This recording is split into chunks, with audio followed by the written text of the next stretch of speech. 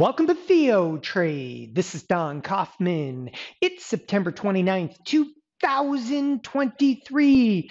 Just moments left inside of the trading week with the S&Ps. Well, some volatility coming out of this marketplace into this Friday afternoon close. It's the end of the quarter and know, markets just unhinged. It's bonds, dollar, and what I term the techtastrophe. Let me explain that and much more here, of course, on this Theo Trade weekend update. Right to work. Look, I don't have to explain a huge amount about some of the price action that we've seen in markets. I, you know, I'm not sure that the term volatility is being taken the right way because immediately people talk about volatility and they look at VIX and they go, well, the VIX is not that high. And we're going to actually discuss exactly that here on this weekend's update because there's some issues with overall implied volatility in the marketplace.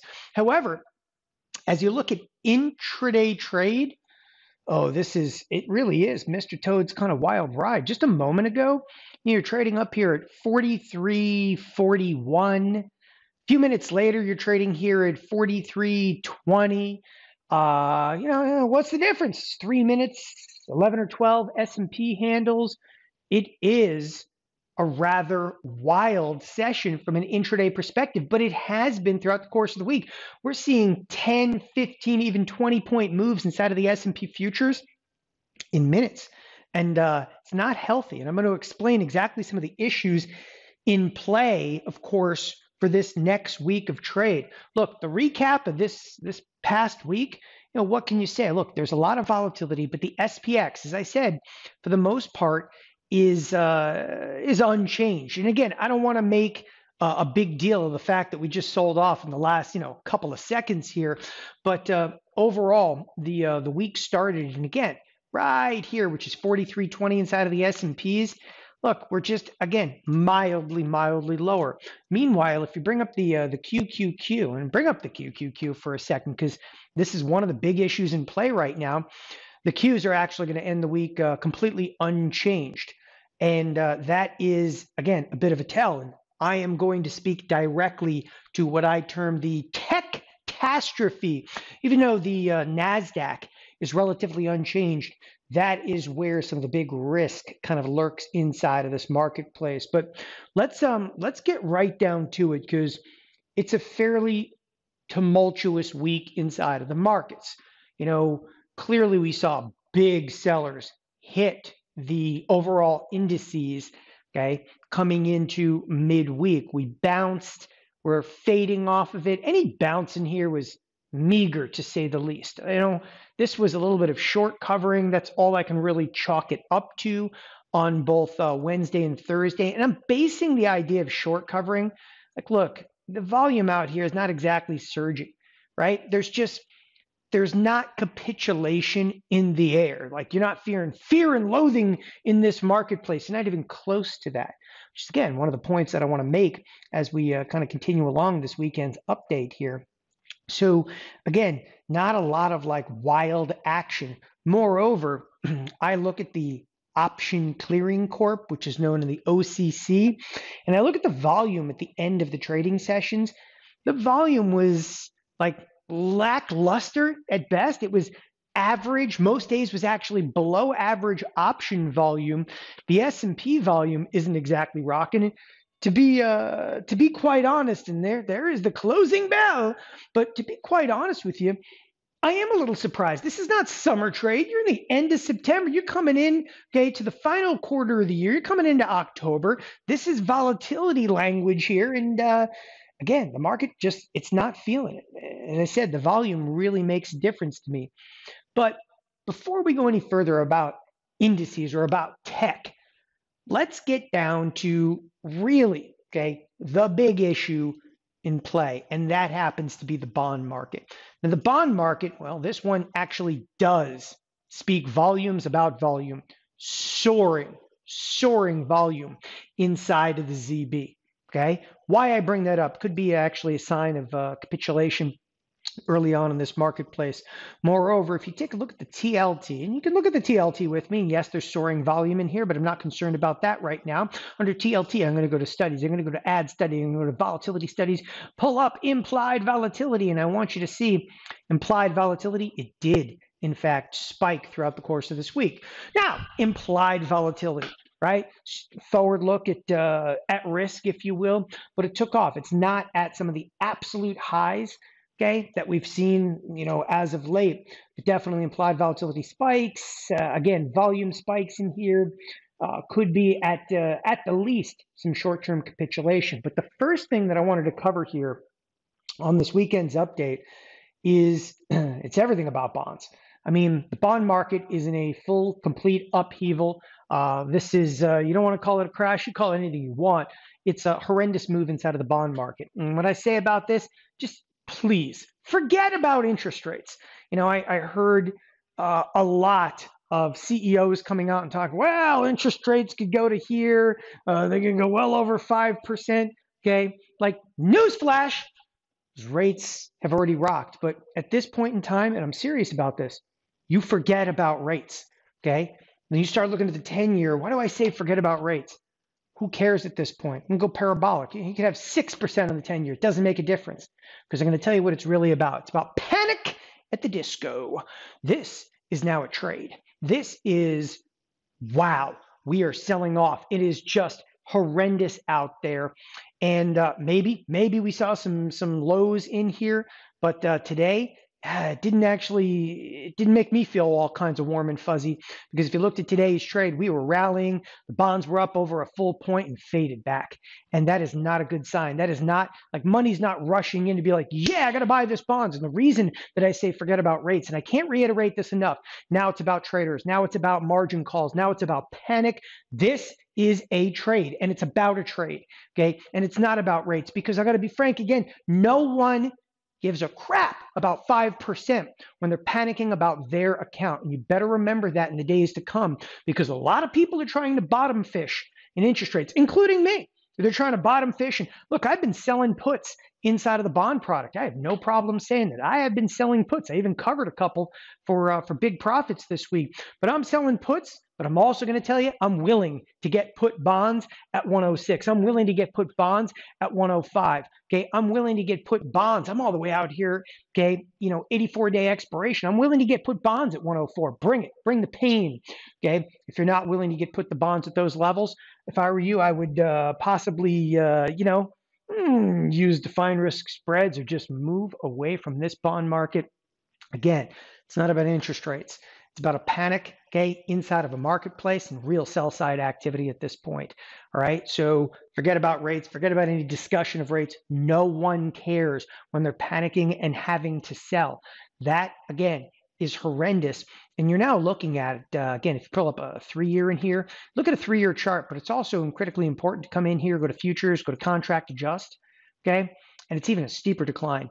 Okay. There's just nothing to compare to the sell side activity that we've seen as of late inside of the uh, the U.S. Treasury markets, the uh, specifically the ZB, the 30 year um, bond Treasury futures. They're getting decimated out there. The one saving grace is that volume really did spike. Volatility started to take off to the upside. And that could be some short term capitulation at this point in time. Now, push that aside for a second. Obviously, that's an ugly area. If the bonds really start to panic, Evidently, it's probably going to kill tech, but I'm also big concerned about the US dollar. Okay, the dollar strength. Now, any way you want to shape this up, and, and again, we're looking right now at just a nine month chart. And this is the dollar sign DYX. A lot of different ways to look at dollar. You can look at the dollar, you can look at the dollar versus euro. That's horrendous over here. But overall, inside of the dollar, again, I'm bothered by today's price action because we started significantly lower in the dollar. We rallied right back up. The dollar is finishing the day pretty much unchanged.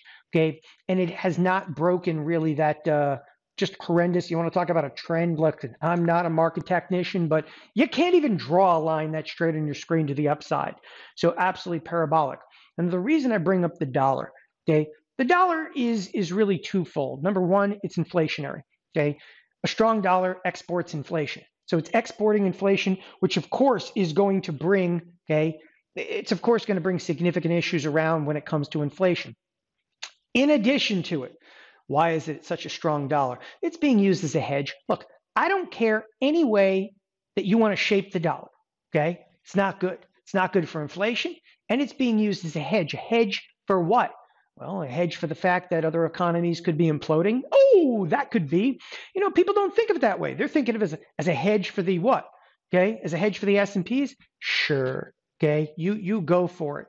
Could be a hedge for the fact that the uh, the yen is absolutely collapsing. Okay, that's a possibility over here. Could be a hedge that uh, things like Bitcoin. You know, you haven't thought about this in a while. Haven't talked about this in a while, but Bitcoin, Binance might be uh, going to bite the bullet over there. We'll see. Okay, more on that. But it's a hedge. It could also be a hedge for well, a lot of people don't necessarily want to invest right now inside of S and P's. Evidently, they don't want to invest in bonds right now. Okay, any way you want to shape this, right? the buying of the dollar is not good for equity markets. I don't think it's good for uh, global economy. It is not a positive sign of the marketplace. So obviously, you've got uh, you know interest rates soaring. Forget about rates. It's about bonds crashing at this point. You get dollar strength. Next, we got to talk about what I term the tech catastrophe. Okay. And the reason I keep calling it this, and I've, I've just been hammering throughout the course of the week, and I talked about this a bit on Wednesday night's video, and I'm really going to go after it right now. I don't like what I see in tech. I don't have to like it. I don't want to like it. Okay. I don't even like it a little bit. Why am I going after tech? Because what I call the tech catastrophe, the selling hasn't even begun. Right. And this actually ties into the next bullet as well as there's a lack of volatility because there's a lack of correlation. The point that I want to make with this is look, I don't I'm not going to sit here and, and, and, preach to you about being bullish or bearish inside of the S&Ps. Because quite frankly, look, I am not a market technician. Okay.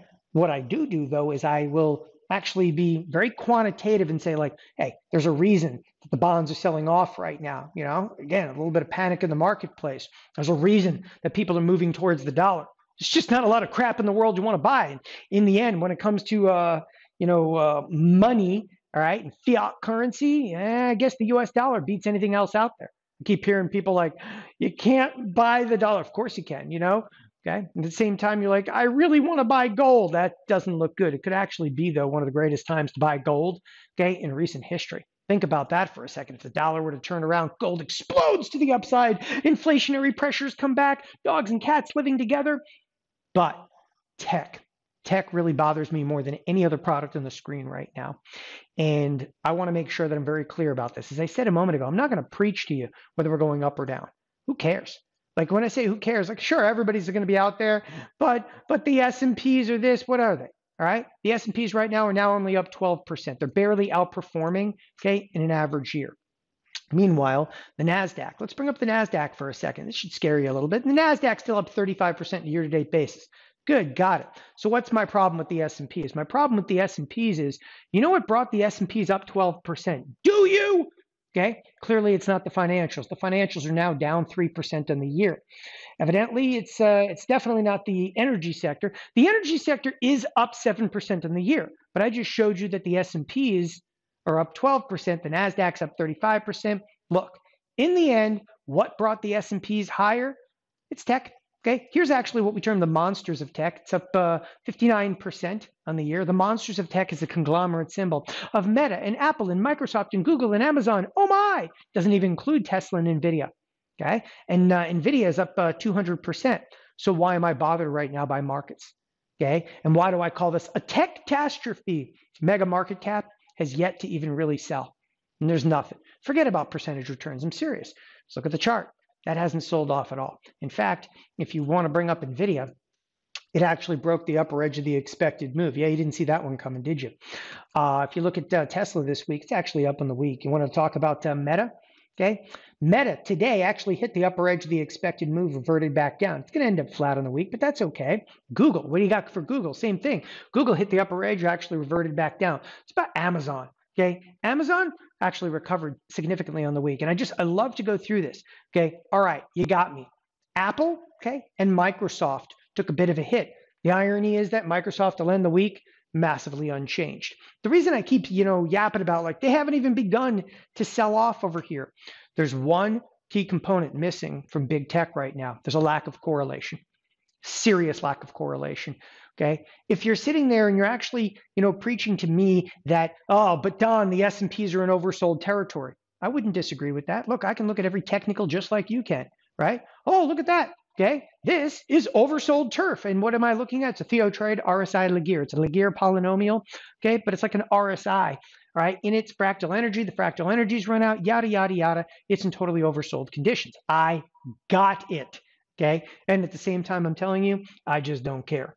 Because one of the things that's missing is if markets are going to capitulate, you got to see higher degrees of correlation right? And I'm not just talking about here's cool, like when S&P 100. Well, there's 35 stocks uh, higher, 67 lower. No, you got to see higher degrees of correlation expressly inside of technology. Why? Tech is what brought the markets higher. And you can say whatever you want about Microsoft. Microsoft is still up 30, almost 2% on the year.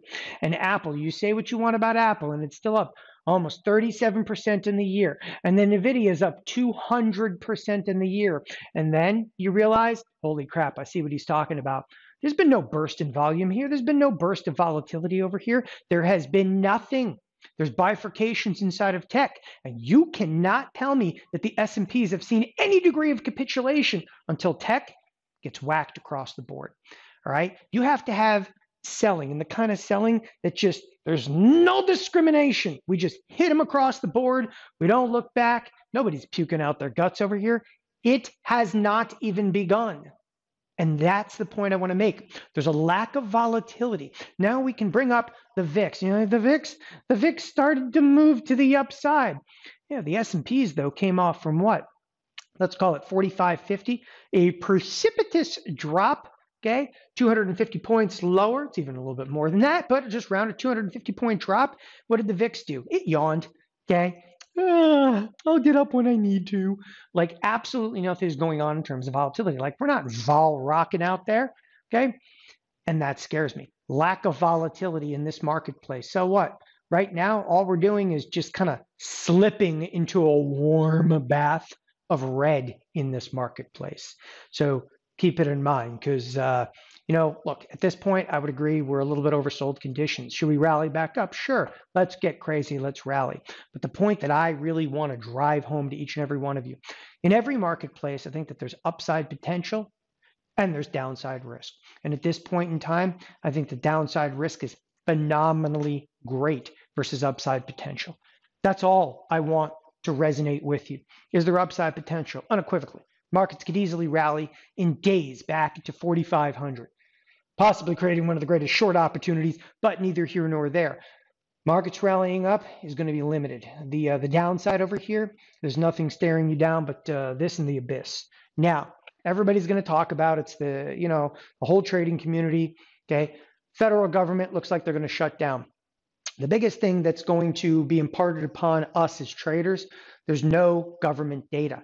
And I do want to bring this up for a second because week in and week out, I keep talking about all the data that's coming out. I think from CPI to PCE, okay, to PMI reports, to, for instance, this Friday, you're supposed to have an employment situation. Clear the board, people.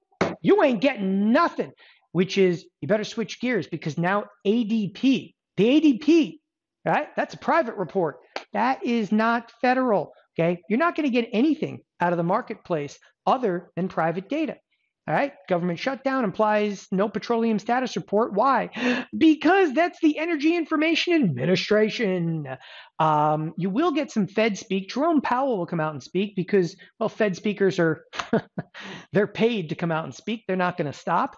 Uh, they are paid individually to come out and speak and not on behalf of the Fed, but uh, they get paid at their own little bank account. Lovely. Nevertheless, there's going to be a lack of data. And the reason I'm really talking about this, and I want to impart it upon you, is that a government shutdown has not necessarily been bearish for markets. But in a marketplace that is absolutely data hungry, every week I talk about how the marketplace is like a chocolate covered hand grenade. Okay. And how that every one of these announcements is like a fuse. Well, now you're sitting basically on a powder keg and it doesn't have a fuse. You don't know when it's going to go off. Now you got to be careful because the kind of volatility that we could see could actually spark all right, windfalls of gamma risk, all the zero DTE options. It could get real out there and it could get real in a hurry. You know, you think I'm going to talk about, well, there's no government data, there's no, you know, genesis to, to, to trade off of. Forget about that, right? The trades are going to be coming, but on an intraday basis, okay, the slightest hint of data coming out, even European data, could really rock the marketplace because there's not a big driver at this point of the gamma risk. And again, I'll explain that much more here when we hit this marketplace throughout the course of the week that you're going to feel it is going to be literally like driverless. But at the same time, then it's all going to be gamma risk, it's all going to be hedging activity. And if that ball starts to roll downhill, it's going to get crazy and crazy in a hurry. All right, let's cruise down to the SPX, the mother of all products. So inside of the SPX, okay, in this past week of trade, the, the week that literally just ended moments ago, we had basically an $84 expected move. Tag! Okay. In fact, you know, there was a there was an argument going on here in the uh, Trade chat room, and people were talking about did it hit the edge of the expected move? Look, okay, right here. Okay, what is what is here? That's on Wednesday. It came within two points of the uh, lower edge of the expected move. It's a tag. Look, expected move is nothing more than an average. We hit the lower edge of the expected move. We ripped off of it. Okay. Now, as I said, I'm not here to try to you know assign directional bias. Again, everybody agrees, including me. We're in oversold conditions. Oversold conditions, though, markets never tank from all time highs. Markets tank from oversold conditions. And that's why I'm not here to try to assign, you know, a bullish or bearish stance to this. Look, okay, I have bearish positions on people. I'm negative delta. Like, you know, I wear my positions like a badge of honor. Like, do I want us to go down? Absolutely. And volatility to explode. But I'm also the first to tell you this is how markets get coiled up, short covering sparks, this rip your face off rallies, which you need to worry about more than directional bias. Okay is really what uh, what price action the market holds, and the price action is all in the expected move. Now this is interesting, and I'm going to tell you why it's so interesting. So yeah, yeah, yeah, government shutdown, yada yada yada. The first week of October. Why do we have an $80 expected move? So we just came off of a heavy expected move of 84 bucks. Okay. We don't have a lot of announcements ahead of us. Maybe it is the government shutdown. I don't know. Okay. The employment situation over there mm, no, there's no divergence for employment situation because it doesn't look like the employment situation is even going to happen. Okay. Government shutdown. What do you got? You have a heavy expected move on a week that I wouldn't have expected it. This you better pay attention to because an $80 expected move, like we had last week, is put on your big boy pants. We are going to be a rockin' throughout the course of this week. So Again, put your volatility helmets on and do not take them off. Remember what I'm saying about tech. Right? I, again, I don't mean to to scare anybody. This is not meant to freak anybody out, but I'm calling it, you know, hey, look, selling hasn't even really begun inside of tech. You'll know it when you see correlation hit, when you see, you know, literally tech getting hit across the board. There's eh, no discrimination in sell side activity. There's nothing but what? Every man, woman, and child for themselves, and we just nowhere near that. And that's the one thing I really want to resonate with people of why I don't like the present risk reward of this marketplace. All right, last up over here, a reminder to each and every one of you look, Theo Trade, okay, our live event for 2023, a trader's paradise being held in Delray Beach in Florida. This is it, people. This is your last opportunity to sign up. Go to theotrade.com forward slash 23. I say it's the last opportunity. We okay, are shutting down the room block okay, for the live event.